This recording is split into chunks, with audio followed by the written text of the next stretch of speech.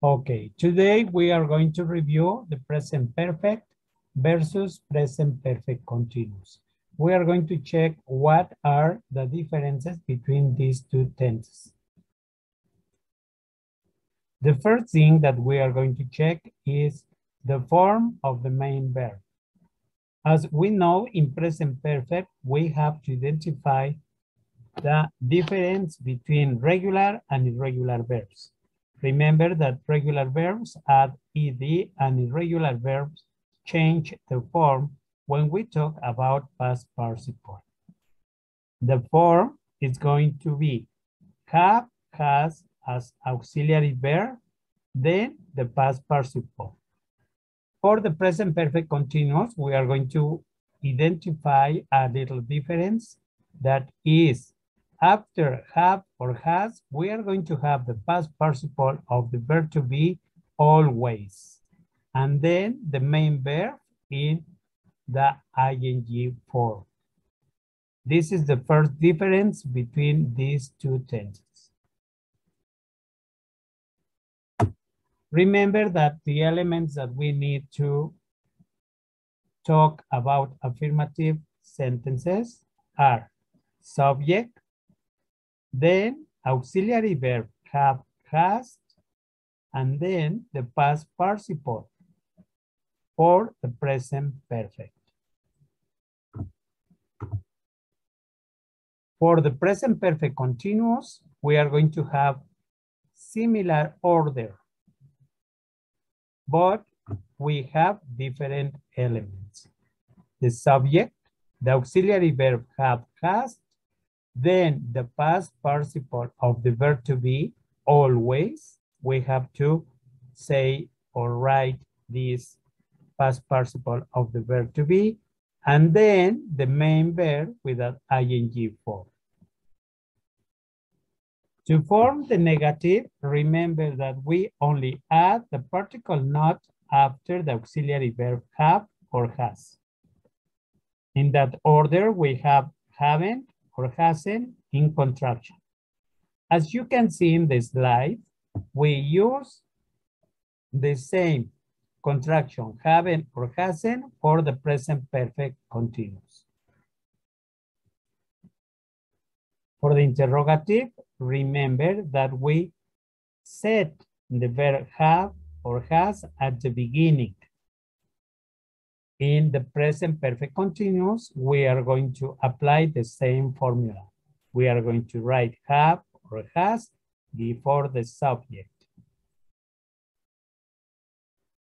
To finish with the grammar structure, remember that we have two kinds of possible short answers, affirmative and negative.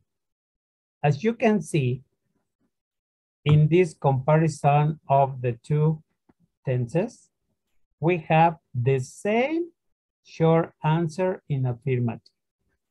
We use yes, then the subject, and then the auxiliary have or has.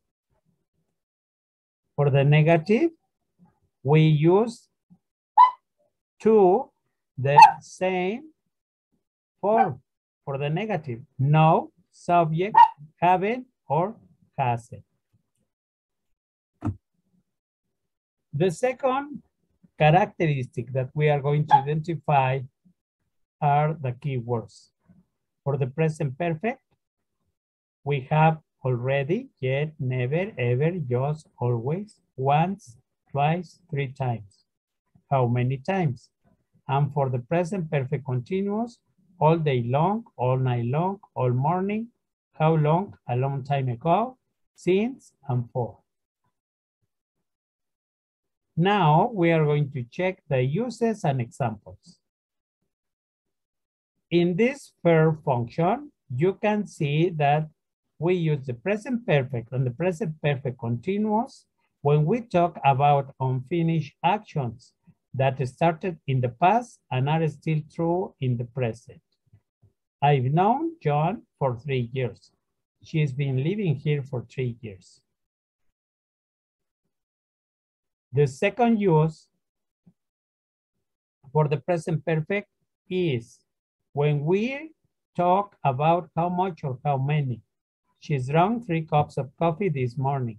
She's drunk at least a little of coffee today. And for the present perfect continuous, it is used to emphasize the length of time that has passed. They've been waiting for hours.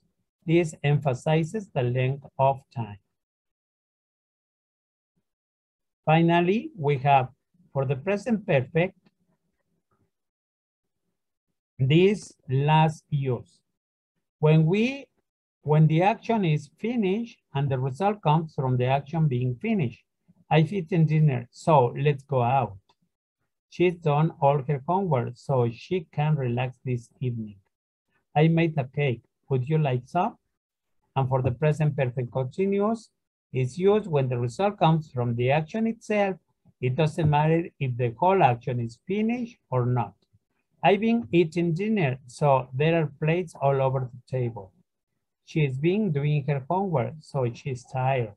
I've been making a cake. That's why the kitchen is such a mess. I want to thank you for watching this presentation.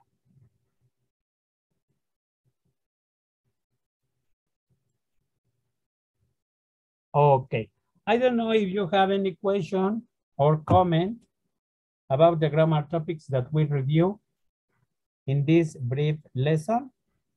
No? Present perfect? No, teacher. Present perfect continuous? No? No, profe, todo bien. Muy bien. Entonces ponemos en el chat, por favor, este, su nombre y su grupo, por favor.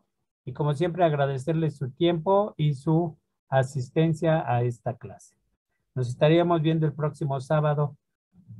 ¿Sí? No se les olvide subir sus actividades al foro, por favor. See you. Bye bye. Have a nice week. Gracias.